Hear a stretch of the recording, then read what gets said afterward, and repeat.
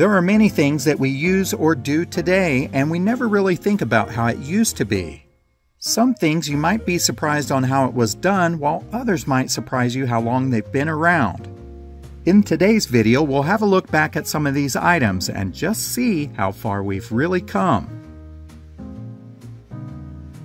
Television in the 1960s was groundbreaking, but there was one problem, which was reception. Homes never had any TV aerials installed, so that is where rabbit ear antennas came into play. If you have ever used one of these, then you know how much of a pain they are. Many people had to play around with the antennas to get them just right in order to get a signal. We're lucky that technology has advanced since then and we no longer have to use these rabbit ear antennas. If you wanted to have toast in the 1920s, then it had to be manually flipped in order to have both sides toasted. This contraption is what was used and it sort of looks like a jail for bread. At the time, it would have been classy, but it really was impractical and certainly isn't safe now. In the early 1900s, beard trimming wasn't anywhere near what it is now. These beard trimmers look extremely sharp, which probably made them extremely effective as well. However, they also look like they could really nick you or even take off part of your ear I don't think anyone will be switching from the electric beard trimmers anytime soon. Fire grenades were the original fire extinguishers that were thrown into fires to help suppress the flames. They were popular between the 1870s and 1900s, but modern fire extinguishers have rendered them obsolete. At the time, it was a very different way to help stop the growth of a fire. Inside of the glass bottle was carbon tetrachloride to help combat small fires. Once the glass broke, the fluid inside would smother the flames. This is a recipe that dates back to 3000 BC and it is from ancient Mesopotamia. If you saw this recipe, you would probably have no clue how to do it, much less what it was for. This slab shows you how to make your very strong type of Sumerian beer. It is certainly easier to head to the convenience store now. Take a look at these slick sunglasses. They are some of the first sunglasses and were made 4,000 years ago. These sunglasses were meant to protect the eyes from UV light and snow blindness. They were created out of flattened walrus ivory with small slits to minimize the amount of light entering through. But don't look for these to come back in style anytime soon because they aren't the easiest to see through. Wishing trees were once the original wishing well. I'm sure most people have thrown a coin into a fountain at some point and made a wish.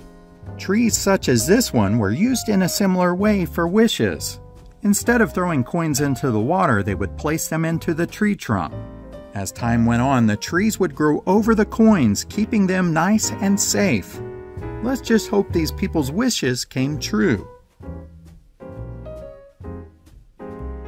Vending machines were an invention that changed the game of selling goods.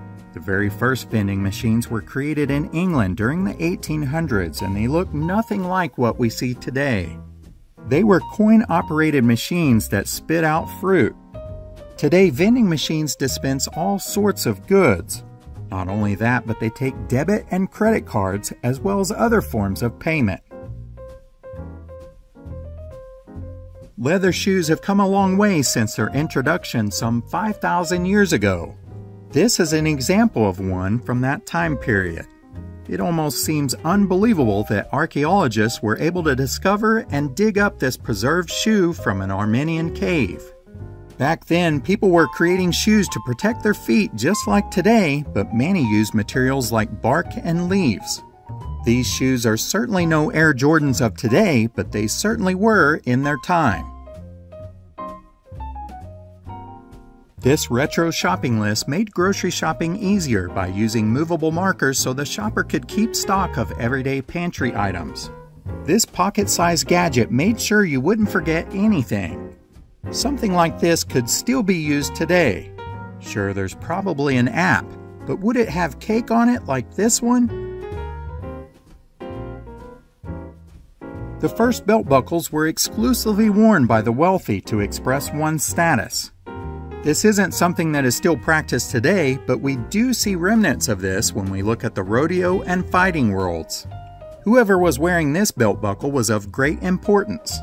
I wonder what prominent king was wearing this beautiful piece. If you take a quick look at this device, I'm sure you can easily tell it is for food preparation. This 6-burner oven and stove combo also had a bread warmer. With all of that, it certainly sounds like it made cooking a breeze. Over the years, ovens have advanced, but you certainly can't get one like this anymore unless you buy it restored. If you look online, there's a few companies that do just that. This was something that was essential for large families and gatherings in the past. Long before Dungeons and Dragons became popular, ancient Romans were using this 20-sided die. This one is about 1800 years old and appears to have Greek symbols on each side. Were they nerding out over a game, gambling, or casting magic spells? We may never know the answer to that question, but it is fascinating to see an ancient game piece. The computer mouse has come a long way since it first came out in 1964. This is the first one, and it got its name because of the cord in the back, which looked like a mouse tail. It was invented by Douglas Engelbart, and it was meant to be a wooden box with two rolling wheels attached to the bottom of it. His goal was to make an interactive device that would make computing easier. It certainly worked, and the rest is history. Any idea what this is? A few of you may know, but this is an antique calculator. They used to look like typewriters rather than mathematical calculation devices. These calculators look nothing like the modern ones that we see today.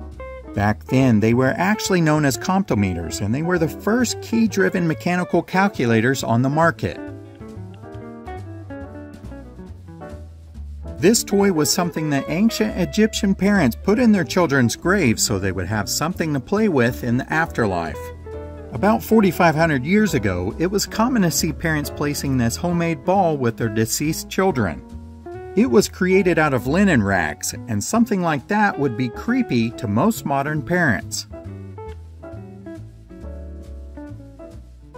This is the rib cage shower, and it is probably one of the more frightening ones that you will ever see.